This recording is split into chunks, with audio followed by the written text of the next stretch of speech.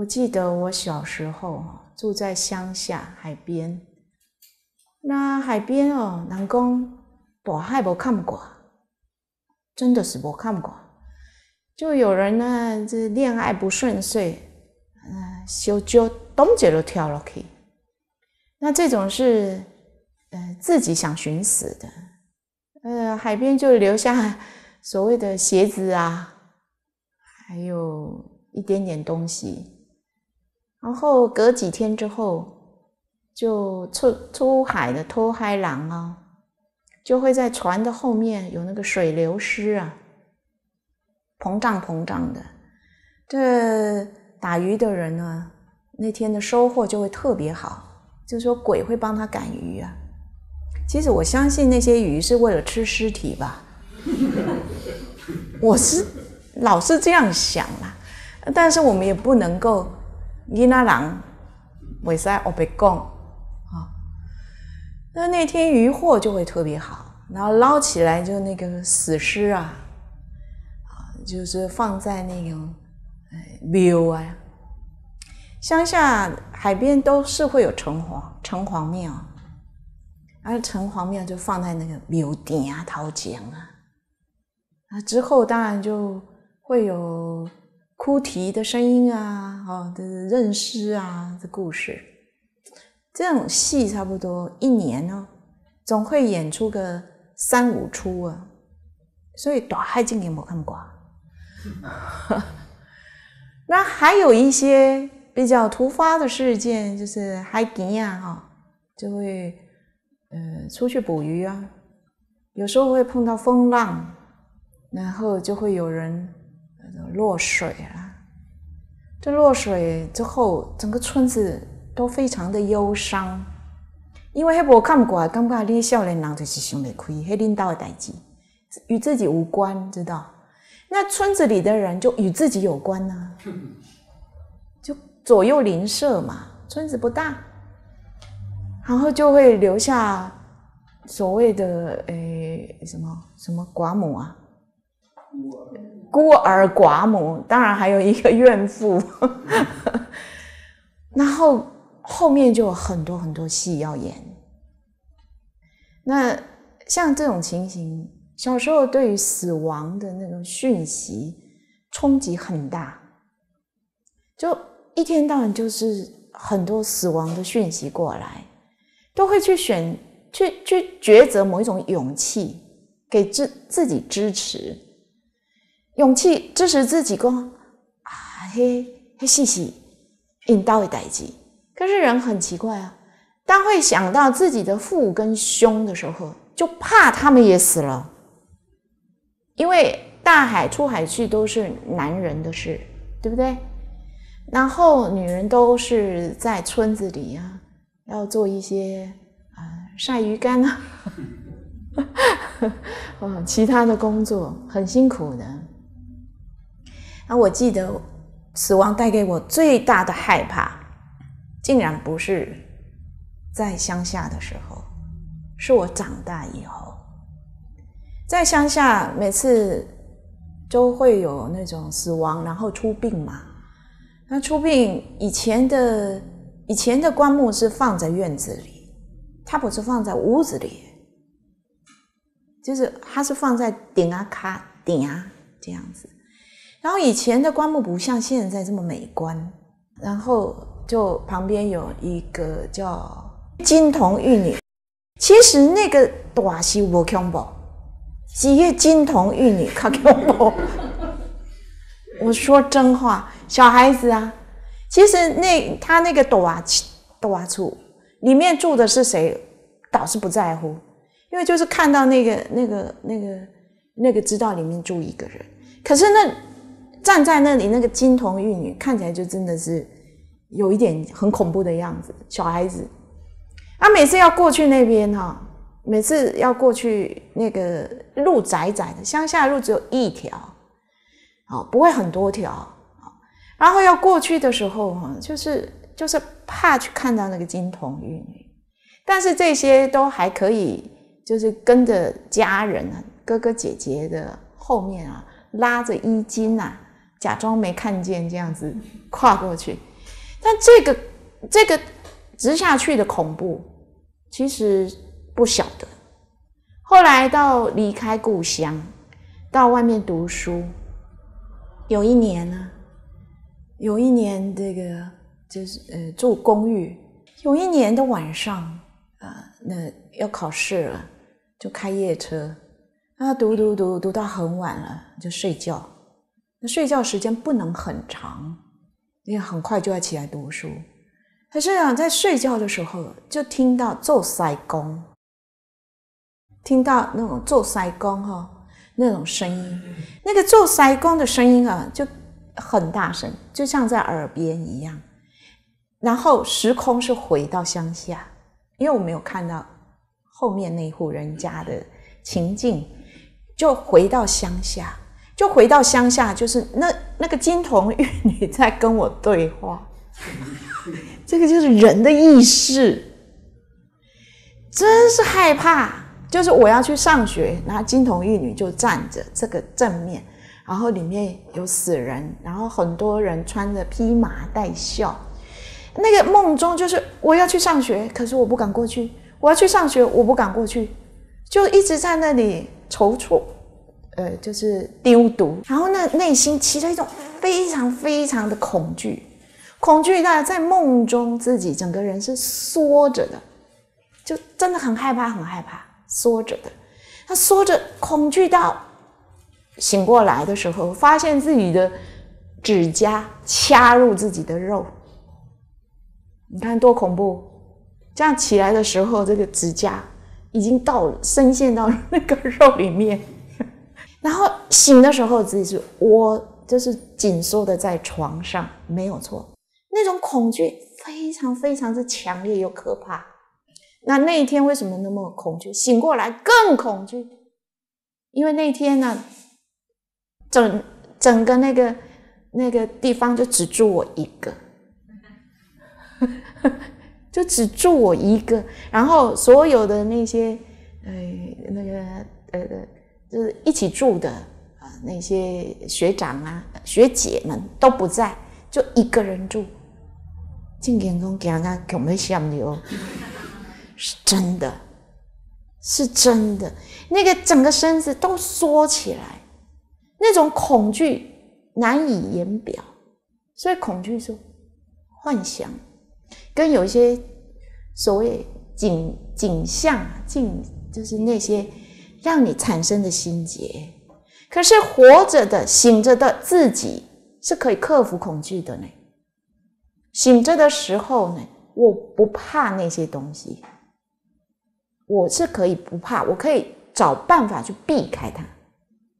可是竟然在梦中，那个恐惧无法遁逃，那恐惧强烈到那个程度，我起床之后，我连要去开那个台灯。这样几步要下床去开那个台灯，都觉得无法举足，就整个人是缩在那里，一直到那个塞工做完，天怕铺更，然后那个塞工做完，那天亮了，亮了，我才有那个能力把自己的四肢伸展开来，然后下床去开灯。所以，对恐怖的那种真实体验没有过，还真的不知道人的恐怖是可以达到那么极点。再大的恐怖，都是可以用转念去转的，但是那种真实从骨子里恐怖出来、没有道理的恐怖，却很难转。那同学。所以有些人，我们会对于很多人提到，他非常非常的害怕，害怕到什么点？你说，嘿，哪啥好惊？我们常常会好像事不关己的说出，嘿，哪啥好惊？啊，这都假呀！啊，这都不过是西郎，这不过是什么的这种话，再怎么安慰都无效，真的都无效。你对于有恐慌症的人，你怎么安慰他都是无效的。所以他借由某一些啊，去让自己转念啊等等，除非他他愿意听进去某一些，要不然就是需要陪伴。陪伴可以让你的恐怖降低，但是死亡却没有人陪伴。所以对于自己无名啊，当然这这这里并不是在主要讲恐怖，我是在讲说那个无名的点，要破除它，必须你穿透生命的黑暗，那个黑暗跟看清楚你自己来自。这样的冥界，你来自冥界，所以你对于冥界的众生要有一种前后的这种呃亲和亲切感。我这样讲，同学你可能无法去感受到你跟冥界众生的亲切感，对不对？但是你可能需要转个角度去看，因为如果。你把生命就针对死亡这件事看成是极大极大的切割，另外那一界跟自己是很恐怖的，是不能接触的，是没有是是无法沟通的。然后那一届的人好像似乎就是厉鬼要掐死你，这那种恐惧其实是内心自己以为的。是真的自己以为的。如果你可以学习要远离那个生死的话，家里人如果有人病故，或是什么样的死亡，你就可以走到他灵前，用一种最亲切、最亲切的心跟他说：“你今天好吗？嗨，我在看你，你也在看我。你把自己对于其他界别的。”那种恐惧心先融化，你先融化之后，你自己对于自己生死的这个恐惧就不再是那么强烈。我是这样转的，非常有效。所以到最后呢，慢慢的看得见看不见的，我都会说：“嗨，你现在在哭，你现在在哭，我知道，我认识原来的你。”之前的你，所以现在的你什么样子，应该跟过去差不多。如果是眷属，但是告诉他是因缘结束，但是我不怕他，我真的不怕他。之后我就打破了，打破了对于死亡的恐惧，克服。我这样讲，同学你试看看，甚至于。修行的过程，偶尔眼睛一闪，都会瞄到那个莫比亚贵啊，下面贵，下面贵，啊，然后一阵那种什么东西。我们现在不是要怪力乱神，意思是说，因为这个十法界是世尊他说明白了，所以像这些不是忌讳跟不忌讳的问题，是它是存在的。那在这种状态之下，我都会嫣然一笑。你试看看，你不要很害怕，你嫣然的一笑，就好像看到另外一个在那里等待的一个朋友人。那当你在这些，你不产生恐惧心，你会平等的去看众生，也会平等的去看自己的死亡。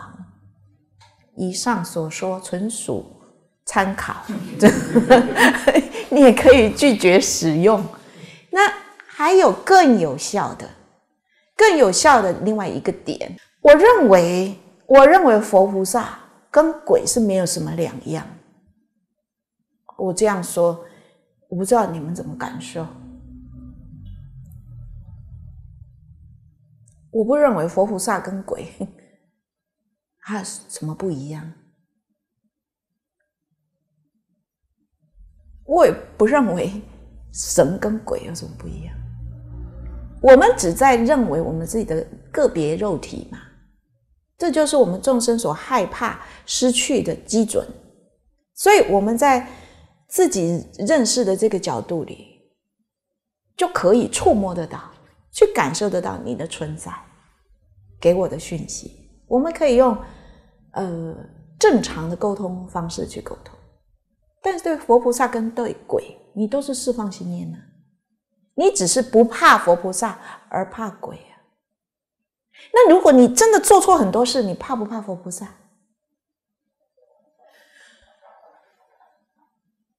你真的做错很多事，你是一个坏蛋，你怕不怕佛菩萨？或怕不怕神站在那里某某某这样责备？会不会怕？他跟鬼有什么两样？而且他也不具体的有色身呢，他不具体的有色身呢。那为什么你对佛菩萨，你就会产生不恐惧，而且欢迎欢迎欢迎，然后对鬼就产生排斥的排斥，对不对？所以后来在修行的时候，我就有了一个非常奇特的转念法，也就是这些我看到会来恐吓我或是什么样的鬼，我都会跟他说：“你是菩萨变来吓我的，你是菩萨画画这个样子来激励我的，你是来告诉我什么事情的。”当我心念这样的之后，这个鬼就马上变成菩萨的样子。所以有些时候你会模糊，不知道这是自己的意识在搞鬼，还是你看到真的是鬼的形象，还是你看到菩萨的形象？你们一定没试过这么巧妙的办法。因为经典里写很多，我有时候就是在研究这个经典的时候，我会把它这个具体的去演练一次。比如经典里面有讲试题还因啊，为了要测试这个修行者他发的菩提心，于是他就变现成厉鬼，跟变现成很多要障碍这个修行人的这种样子来恐惧他。那这个修行人，他大发慈悲心，大发慈悲心就是对这个鬼呀施舍，对他有所帮助，对他说法，然后这个时候，最后这个四体还阴就恢复到他这个天地四体还阴的样子。他告诉这个修行人说：“我就是为了来考核你的菩提心坚不坚固。”所以我用各种恐惧、恐怖的人非人啊，这些来试探你的慈悲。那像这些，当我在读这些经论的时候，我会有一个会有一个思考的空间，去参：真的所有的事体反应都这样吗？真的每一个修行人在自我意识变现的时候？他变现成恐怖就恐怖，他变现成佛菩萨的时候，即刻就转为佛菩萨。你会发现，人在那个动念的时候，他可以变化司法界。那你说，到底他是佛还是他是鬼？众生对于佛或是鬼，其实。没有碰到的还是不懂，那碰到的也不一定是对，也不一定是懂。我讲实在话了，这里面呢，修行其实最根本处是，你在觉照这个无名，然后当你每一个起心动念的时候。你会很明白，他这整个实相的关系法，或是这个是鬼。如果他是鬼，你应该直接可以懂得这个鬼，他要诉说的主题是什么。如果他不是鬼，是你自己意识层次所产生的幻觉的时候，而这些东西又有什么好恐怖？那人的生死关卡，其实在于一种对未然就不了解的这个世界产生很多很奇特的解释，而自己其实都在每一个现况。你如果把所有的十法界都没有动这个揣测之心，而安然的去觉照它、面对它，那个就不需要再产生多余的想法。像我们去年法会不是在水里的山上吗？那我是当主法的喽。主法是不是都要面对很多鬼？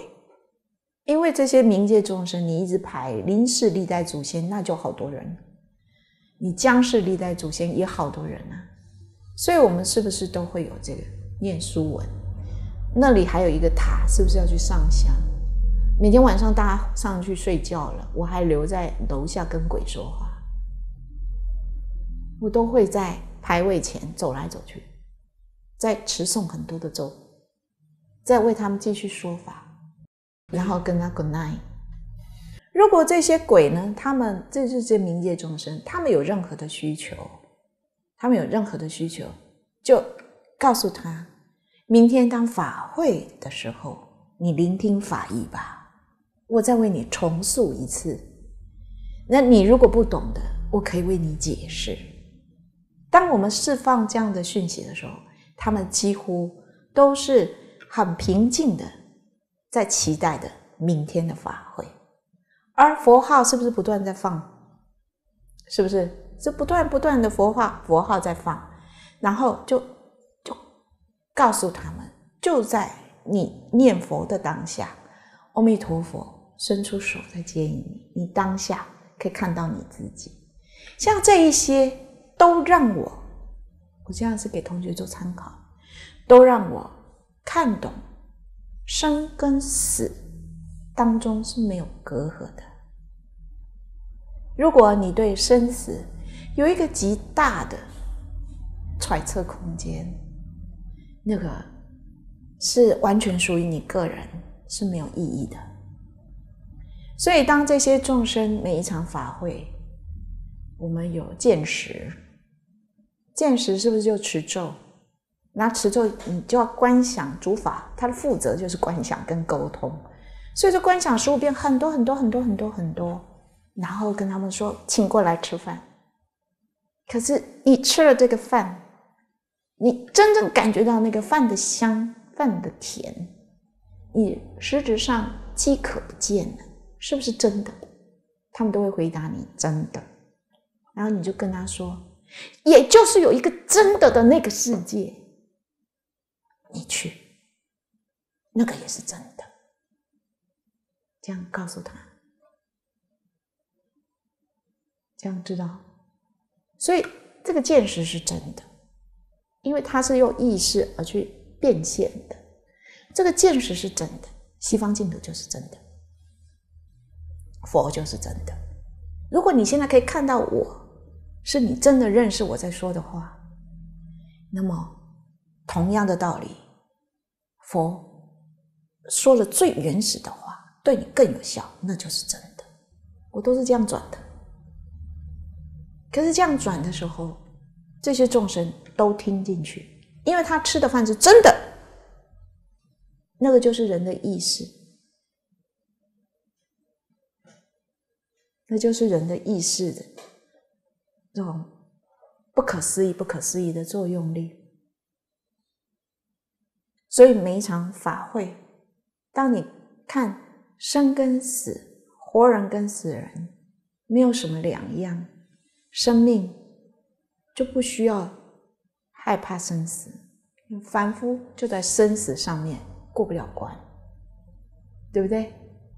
那如果有一天晚上，人家来跟你讲，明天我要来带你走，你会怎样？带的，如果是阿公阿妈来带你，你也真欢乐；如果阿弥陀佛来带你，你也真欢喜。我们一般是不是是这样的？对不对？但是这个上面我们就不谈，因为今天不谈这这这上面，就是说，人在自己的想象里面，你准备好了吗？你做抗拒有效吗？你做抗争有效吗？你做努力有效吗？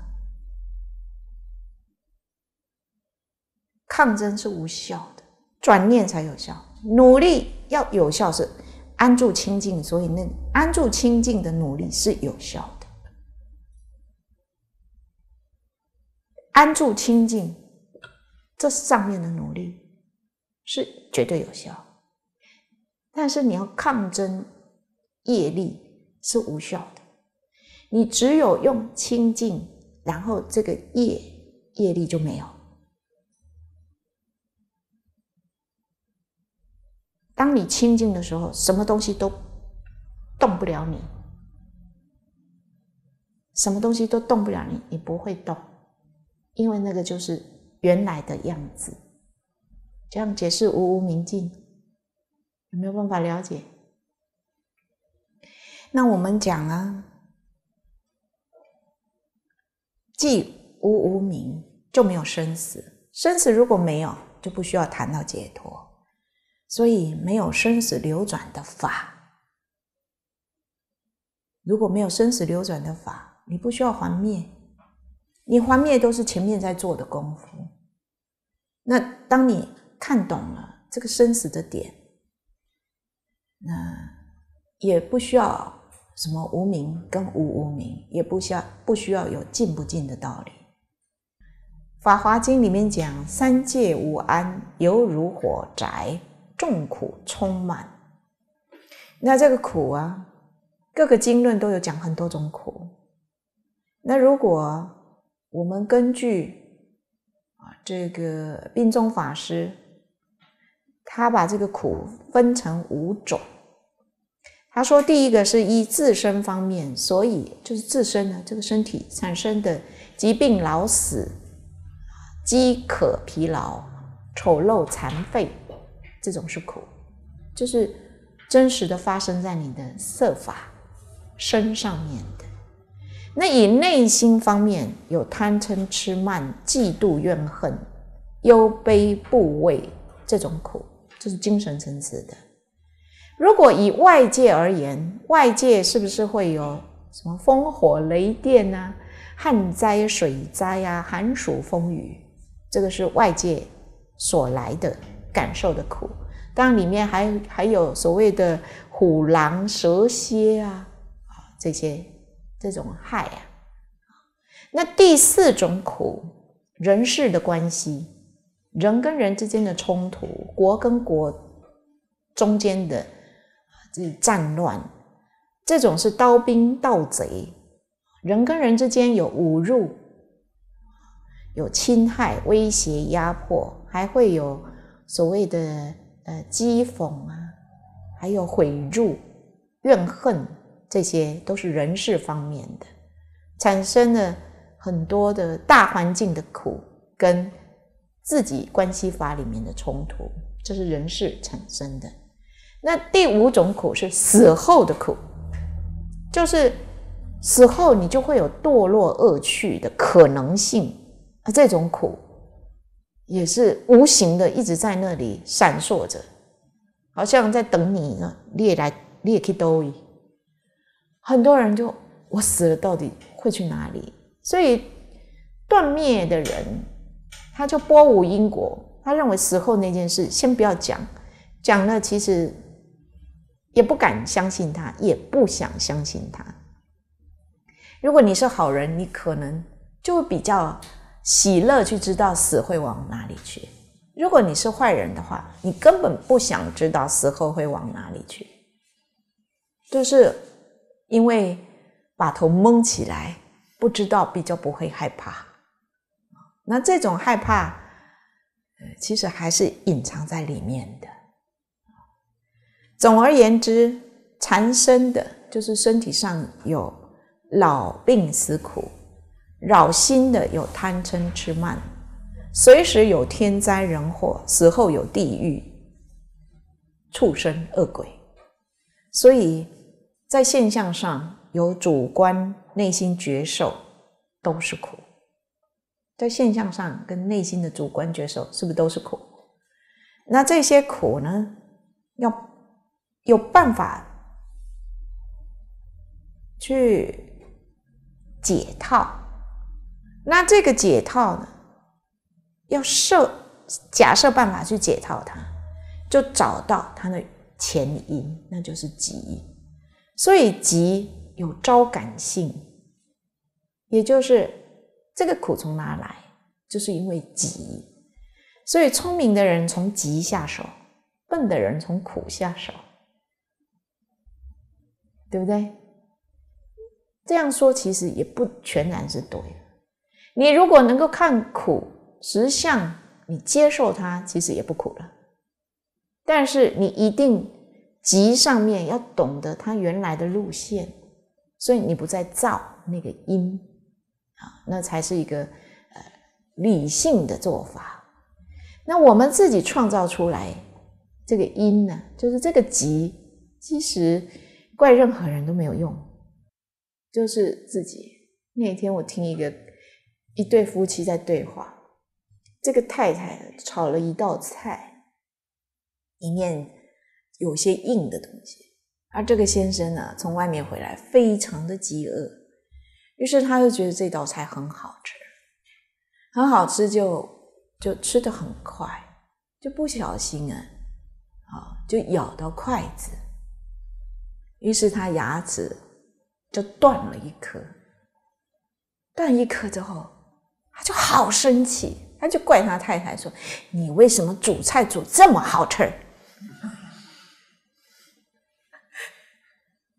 这个太太说：“原来我煮这么好吃也是错啊，菜软硬啊或什么没有错，我手也没有错，是你自己筷子没有拉出来，是你错。”然后。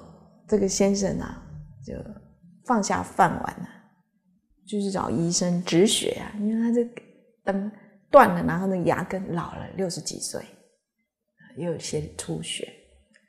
三天之后呢，这个太太啊去上课的时候，他就说：“师傅，我给你看我健康报告。”我说：“怎么了？”满江红。我说这么严重啊？你看起来挺好的。他说啊，因为我们一年呢有一次健康检查，这是免费的验血呀。那过年之后啊，我先生就跟我讲啊，那天呢一定要过去，因为之后很忙，硬拖着我过去。然后我就去验了血，你看答案就是这个样子啊。那我说，那你这个这这个。这个体检的报告、血液分析不大合理，可能很容易看得出来合不合理啦。有的东西它有连结关系，我说这个不大合理。你那那个时候身体一定是非常非常呃非常状态，重感冒或是发烧，或是你你在呃失温或失水的状态之下。验的，他说：“师傅，对呀，因为我的拉肚子拉个没晒呀，啊，我个发烧感冒嘛，哦，我个发烧，我根本应该去吊大堂，伊讲叫我去体检呐。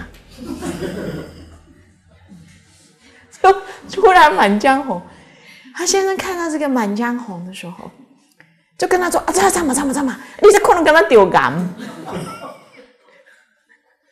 感。”肝指数飙的好高啊！他就问我，我说那一定有问题。结果当下没有秒差，他就叫他先生过来，弄厉害，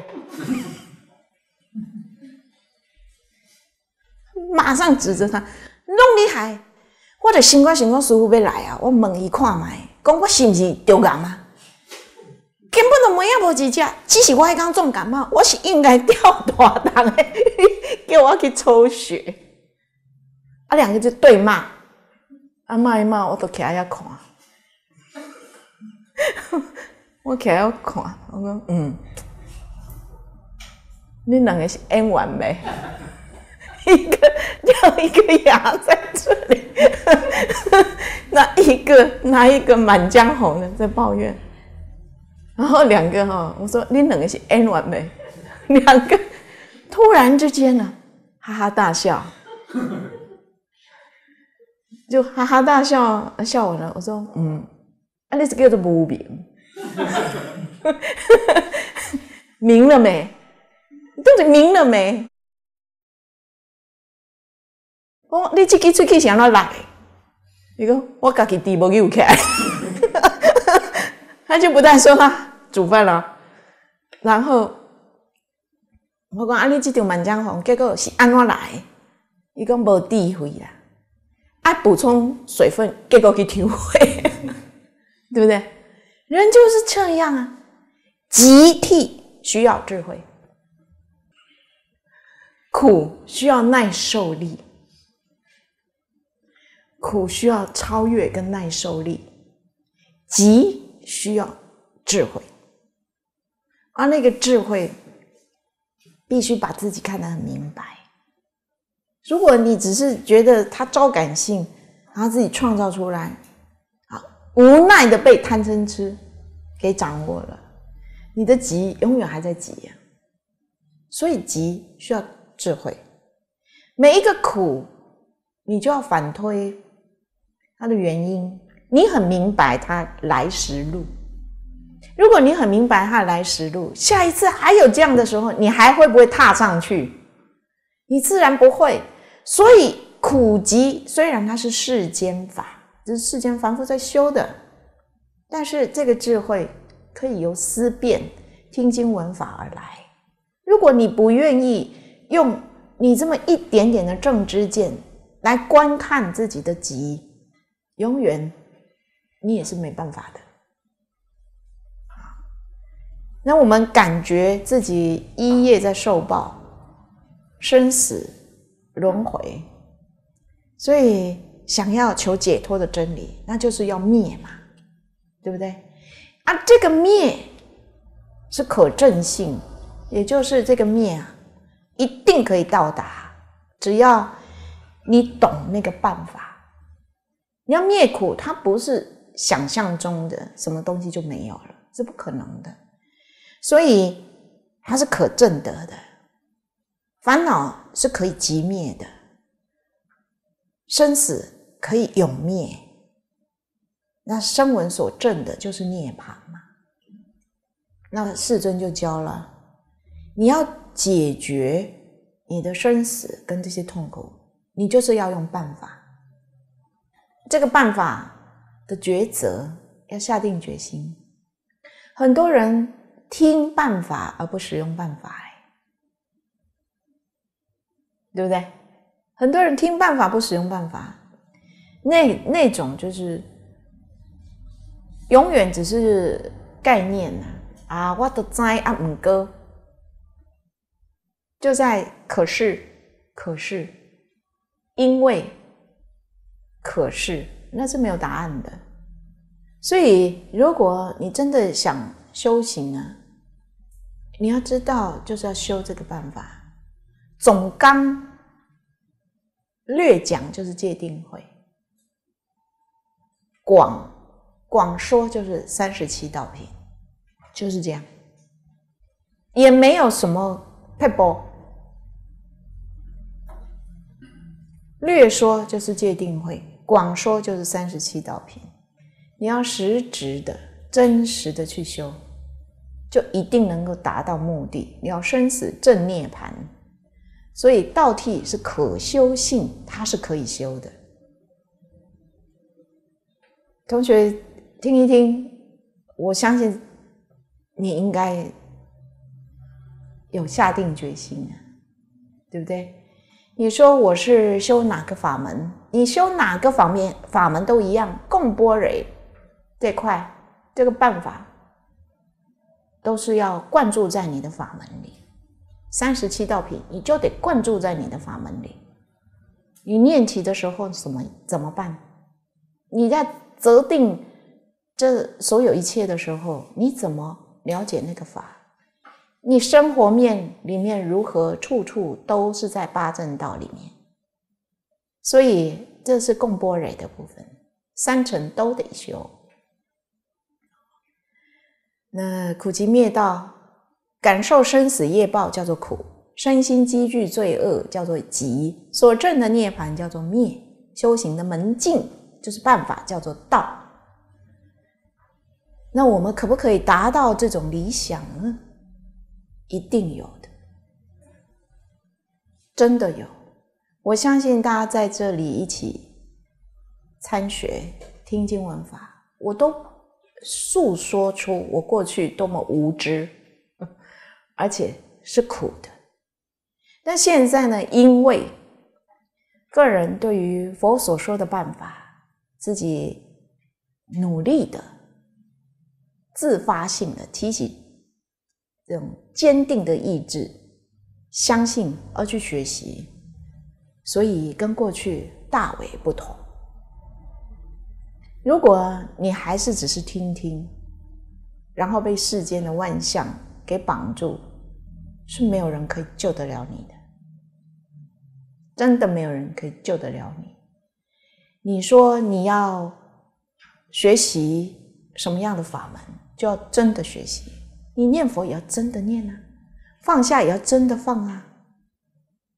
你要整理，要真的法整理呀，才能够悟啊！啊，这个悟就自然，自然能够离苦，对不对？所以啊，圣者是以道为因而正即灭的乐果，所以道是因啊，灭是果。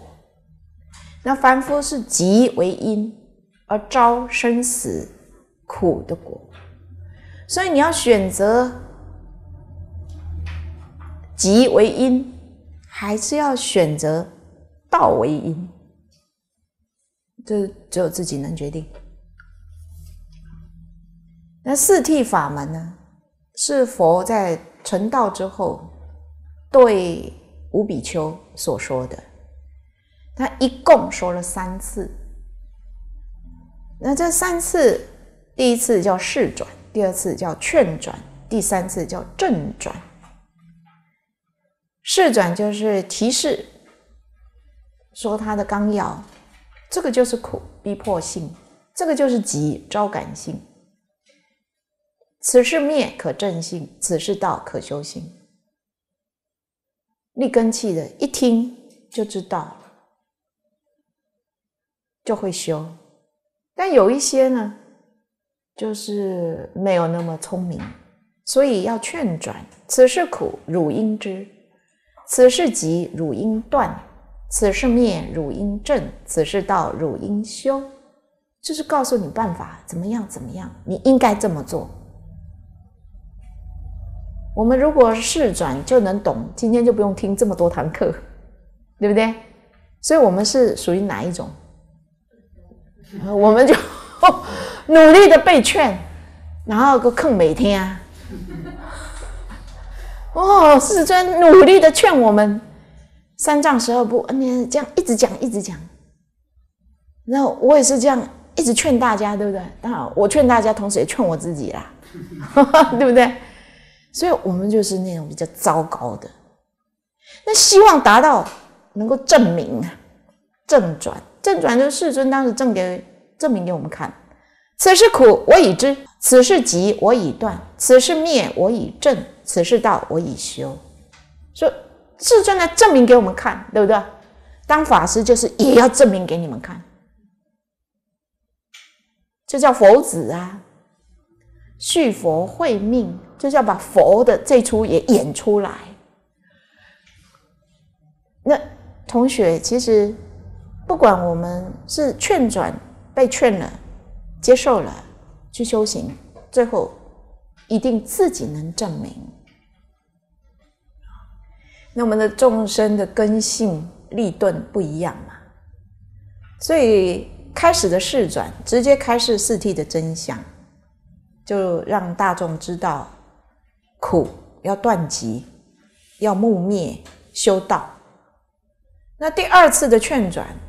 就是根性稍钝的，就如同我们。第一次听不知道，那只是把它当成一种警惕、警惕的讯息，然后慢慢的听很多次、很多次，才说服了，才接受了。第三次的正转是佛慈悲广大，看到众生不能信解呢，所以把自己拿出来做证明。这里面呢，这动根的众生呢，这个时候看到佛的不可思议，才愿意呃相信，开始真的这样照着做，这叫。三转法轮，那这个声闻呢？不管你是哪一种层次的，立根的、动根的，在修苦集灭道，会有正的果位。而这果位啊，我们读经经典的时候，读经论都跳得好快啊！啊，等下就是得法眼镜，等下就是正阿罗汉，对不对？是不是跳得很快？谈到这个声闻正德的果位，它阶段有分四个。第一个叫出果须陀环，呃，须陀环它呃意思叫预流，又叫做入流，就是准备准备要进入圣人之流。那这是修八忍八智、无漏十六心断。三界八十八识之见惑进了，才正出国。这听起来啊，这数字一大串，就是听之后就觉得，到底正出国是什么感觉？那不是感觉，你要知道，要断要正出国，第一就是，所以你看到的东西都不要起意见。